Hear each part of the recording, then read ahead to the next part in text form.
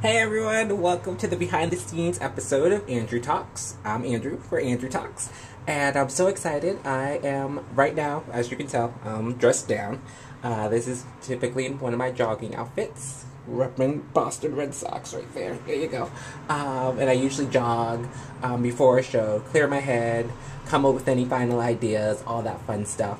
Um, prepare for next week's episodes, think of ideas for that. And while I was jogging the other day, I came up with a behind the scenes episode. How cool would that be? So, just for you, and you, and you.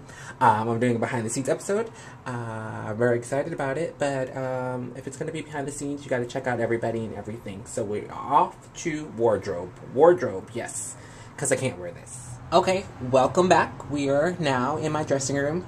Okay, fine, fine. It's my bathroom, but it's time for wardrobe. So we need to figure out what I can wear because we can't wear this uh, for Andrew Talks this week, and hopefully you like it. And if you don't, if you see another option, let me know, and I'm sure I'll probably wear that next week or the week after that. So I really hope you enjoy um, the options. Here comes option number one. Huh? What do we think?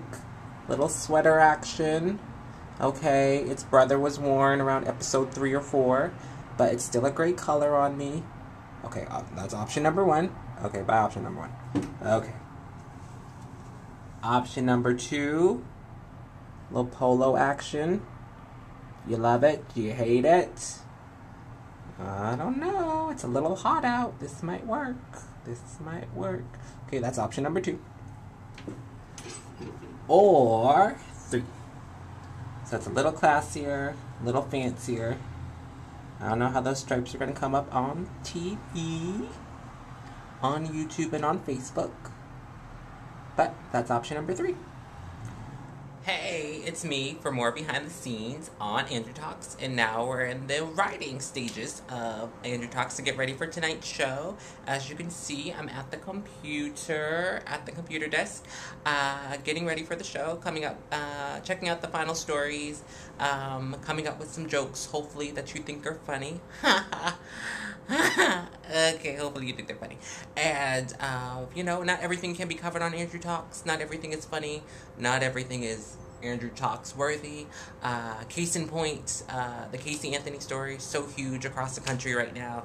That won't be covered on Andrew Talks. It's it's it's not something I do. I don't. At least I try not to do that type of stuff. So um, you know, I'm really excited, and I gotta get ready to do the show so it could be ready for late late Tuesday evening, early Wednesday morning for you folks. Because that's what I do for you. You're welcome. You're welcome. And what do you do for me? What do you do for me? You ask you watch, and I thank you for that. So I gotta go. I gotta change. I gotta get uh, into wardrobe. I gotta finish up my final stories. This might be one of them. And um, yeah, so I'll see you in a little bit. Okay. Hey, All my right. friends, it's Andrew from Andrew Talks. I'm ready to talk, and I hope you're ready to listen. Pen in hand, baby, let's go. Top story of the evening, morning, depending, is it's hot, guys. It's really hot. It's it's it's too hot. It, that's really what it is. It's too hot, and I know it's around the country. So please stay cool. Make sure you're getting plenty of water. Uh, stay in the shade. All that good stuff. The reports I'm getting: 102 in San Antonio at 7 o'clock, 90 degrees in Philly at 9 p.m. 9 p.m. Philly, 90 degrees. Why? It's the upper 80s right now as I'm talking to you. So everybody, please stay cool. It is too hot. It's you know how hot it is. It's as hot as that necklace Lindsay Lohan stole to get house arrest. Oh snap! Yes, I did. Lindsay, you know I love you. Just tee hee, tee hee. It's that hot. It's so hot. I'm wearing hot couture. Mm-hmm. Hot, hot. See, the hot couture. I was trying to make a joke. Yeah. Shout out to H&M and to Urban Outfitters for the look tonight. Thank you very much. Shout out to them. Shout out. Yes. Okay. Next story. There's no place like home, especially for home births. That's right, home births. Mamas having babies at home are up 20%, and especially within the Caucasian minority.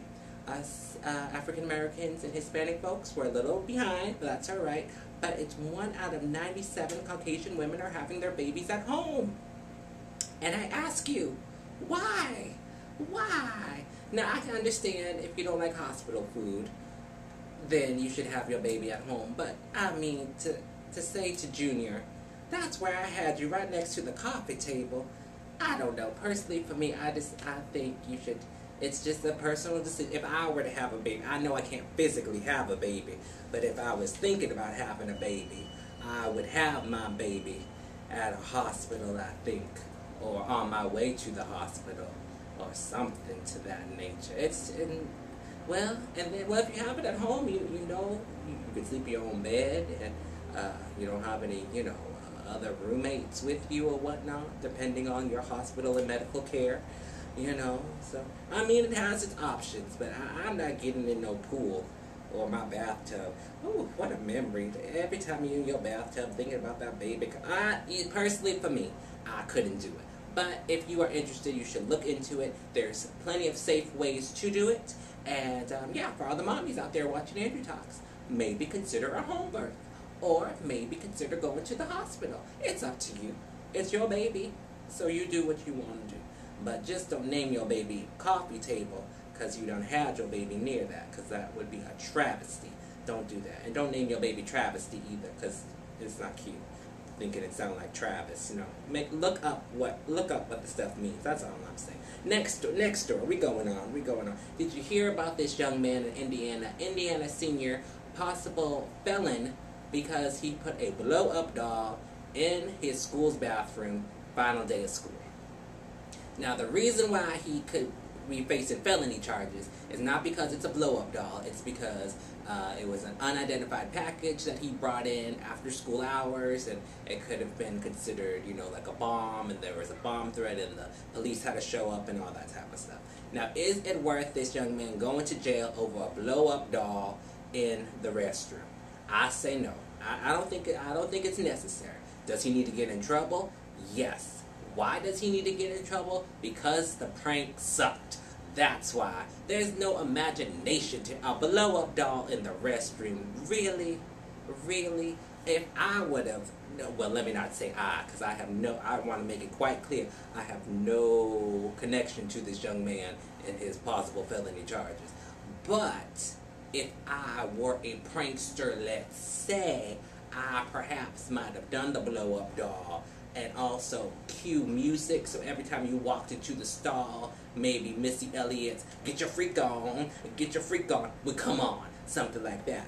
Or if, because he's a younger kid, um, maybe you could have a contraption that would inflate the blow up doll every time you open the stall. And uh, the new singer sensation Kesha would come on. And right when you open the stall, the blow up doll would pop in your face. And you'd hear the music, this place about to blow. Ah, Again, if I was a prankster, that's perhaps what I might have done. But I think it's horrible that this young man would do such a thing to his school on his last day, and his poor future is in just in shambles, and who knows what's going to happen. And pranksters out there should be warned, and you should think about it next time before you do such a silly act. It's just not right. Don't do it.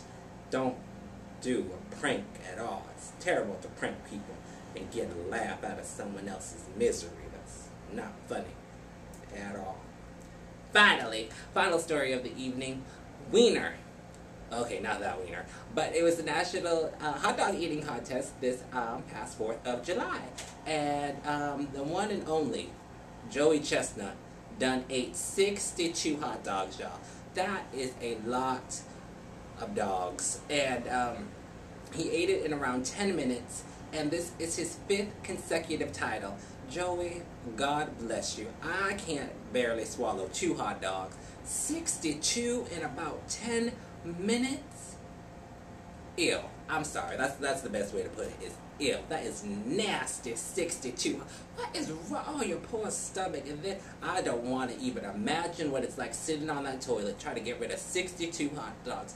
Oh my god. I went there. I went there, Andrew Talks Week. This is episode 9. Well, you should be used to it by now. I went there. I went there.